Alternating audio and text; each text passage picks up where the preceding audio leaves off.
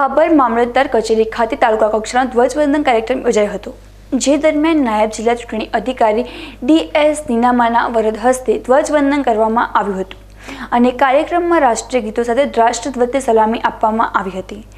વાવ, બાબર ધારાસભ્ય ગેનીબેન ઠાકોર, મામલતદાર એમડી માળી, તાલુકા વિકાસ અધિકારી તેમજ મામલતદાર અને તાલુકા પંચાયત કચેરીનો સ્ટાફ સહિત નગરજનો ઉપસ્થિત રહ્યા હતા અને રાષ્ટ્રધ્વજને સલામી આપી હતી.